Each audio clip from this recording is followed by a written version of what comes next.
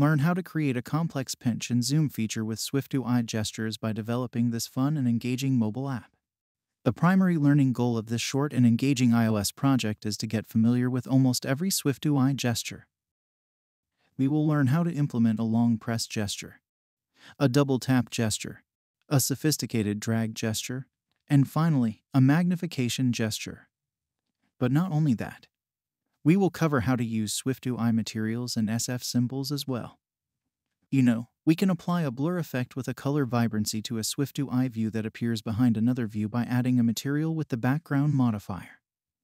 Also, it's worth to mention that this SwiftUI material is not a view, but adding material is like inserting a translucent layer between the modified view and its background. During the development, we will use many SF symbols too. SF Symbols is a library of iconography designed to integrate seamlessly with San Francisco. The system font for Apple platforms with over 3,000 carefully designed icons.